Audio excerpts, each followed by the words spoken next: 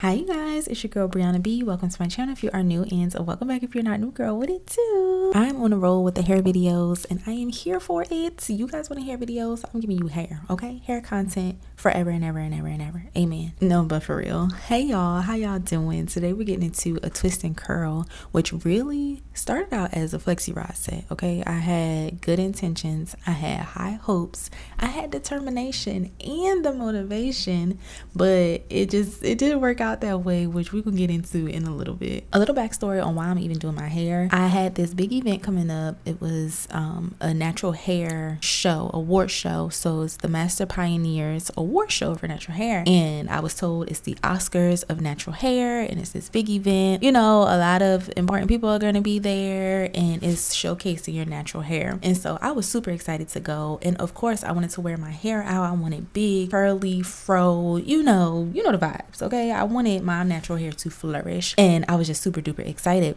So the first thing I thought of was to do a flexi rod set. I was like, you know what? I could blow my hair out and I could do a nice big curly afro. And girl, when I tell you the flexi rods were not flexi rodding for me, Okay, I just could not get it together. This is me. This is the first one. You see my my eyes, bright eyed. I was bushy tail. I was ready to go, ready to get it. I don't know what happened. I honestly can't even tell you. But this one right here, I knew it was not looking good for me after this first one. Like it was just, mm-mm. It, it was, it, it just wasn't it. And I, I don't really know what happened. I don't know where I went wrong. I'm thinking when I was editing this, I'm thinking that flexi rod was too big to put in the back because my hair is shorter in the back. And so I, am thinking I needed a smaller flexi rod. I don't know why I didn't think of this in the moment, but yeah, it just didn't come to me. I was still, you know, look at me. I'm still trying, using my Pattern Beauty mousse like I normally do and I'm still trying to make it work. Also, the section is too big. My hair in the back is shorter, and so I should have used smaller sections instead of those huge sections and smaller flexi rods instead of these medium sized purple ones. If y'all knew like the excitement I had for these flexi rods, like it was quite comical when it just didn't work out. And it was a, at about this point where I realized my arms are about to be killing me. And y'all, that motivation I had slowly slowly started to fade away because one, my arm's about to hurt. Two, these not even doing what I need them to do. Did y'all see that? Like, and here I am. I changed the size flexi rod because I realized, hey, purple one is too big, but I never decreased the section size. Y'all don't be like me. Don't be like me. If you gonna do flexi rods, you gotta commit to doing the flexi rods, okay? That means smaller sections, sometimes smaller rods, but you gotta commit to it. It's gonna take some time. And apparently I was not as ready as I thought I was. But here I am. I'm still trying because we got somewhere to go tomorrow. You know, I need my hair to be on point. I'm trying to get curly big fro. So I was still doing it in the hopes that something would turn out right for me. But honestly, to tell you the truth, I just couldn't do it anymore. I wasn't feeling it. It was starting to take too long. I was exerting too much energy. My arms were starting to hurt. And I just was not committed to it anymore. Like, look at my face. Like, I was still trying, but it was right here I realized, girl, you got so much more hair to go in this back section. Let's just try something else. So here we are.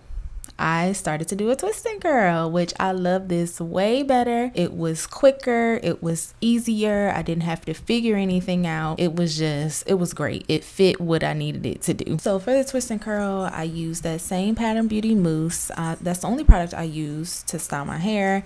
And I just went in and twisted each section. Sorry for Grace, she's down at my feet playing. That's her collar you hear. But I just twisted each section up. I did kind of small to medium-ish sections just because I wanted it to be really, really curly. So yeah, I wanted to fit in as many flexi rods on the ends of these twists as I could. So I tried to make the twist as small as I could without being super small. So I twist each twist all the way down. I leave about maybe an inch of hair not twisted because that's where I want the curl to really pop and I just add a flexi rod onto the end of it. I didn't roll the flexi rod all the way up to the base of the twist um, because I wanted it to give a little bit of length. That one in the front though, it looks like I put it all the way up there um but most of them i did not because i wanted it to leave a little bit of length. I didn't want it to give like what i'm trying to say. I didn't want my hair to appear to be shrunken when i took the um twist and everything out. I wanted it to have a little bit of flow to it which you'll see later on. But yeah.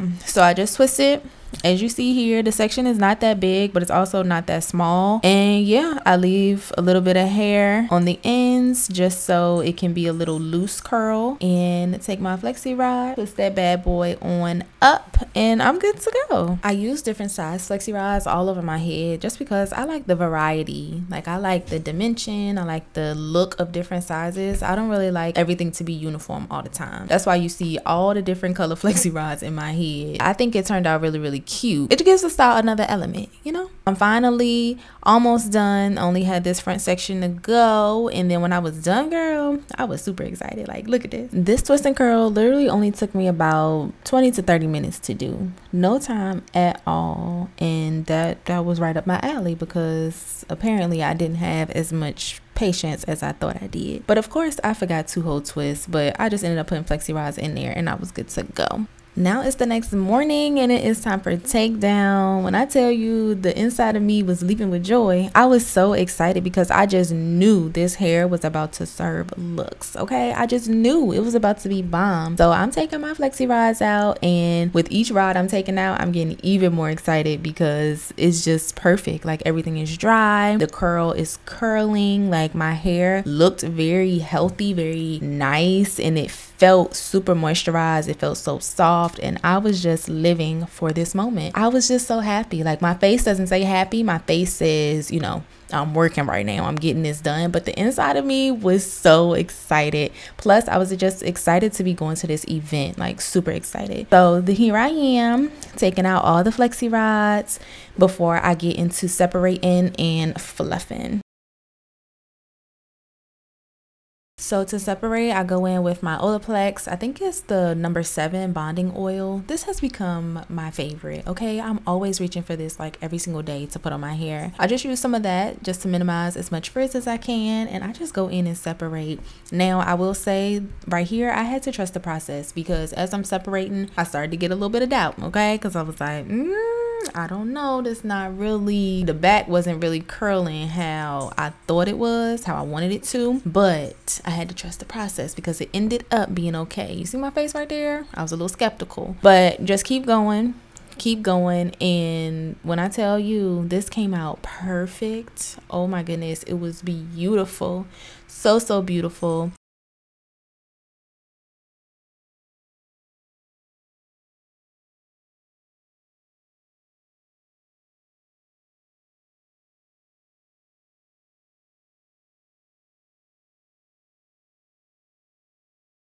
So this is what I meant by I wanted my hair to have a little bit of flow, a little bit of length. You see how when I shake it, you can see all of that. Like it's not too shrunken up to where it looks like it's stuck to my head. It has a good amount of length, but also a good amount of curl. And y'all look at this. Like I was so in awe. I just thought it was so cute. Oh my gosh. Look at this. Look. Ah, that's a money shot.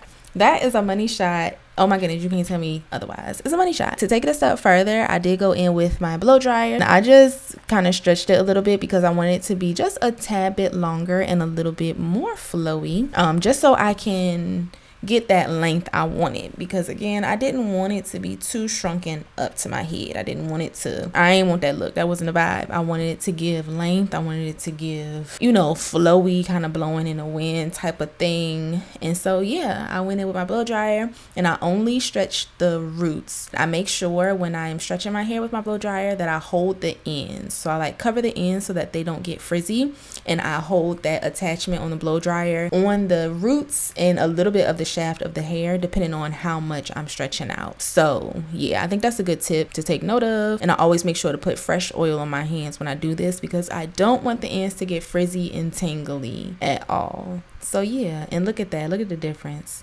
super cute. Y'all i was just so excited. But back to the event. The event was super fun. It was super inspirational like to be in a room filled with natural hair entrepreneurs master pioneers like the host was lisa arundel it was just beautiful. It was amazing to be there with so many influential people in the natural hair industry. Y'all i had such a good time. I did capture some footage so i like try to show y'all. I did like a vlog type of thing. I don't know if i'm gonna make it a whole vlog but i do have some clips And so, y'all, oh my goodness, it was just so inspirational, so motivational. And I thank God for, you know, the people who came before us to create natural hair tools, teach us about our natural hair and everything like that because I get to sit here and pass it along, you know, pay it forward. And I get to do my hair and learn about my hair and what works, what doesn't work, and all that good stuff. So, y'all, it was just such an amazing event. And look at this twist and curl. Like, you can't tell me she's not cute. You cannot tell me she's not cute. I'm definitely going to be doing this again. And I hope you guys enjoyed it as well. Make sure you subscribe to my channel. And I'll catch you guys in my next video. Bye.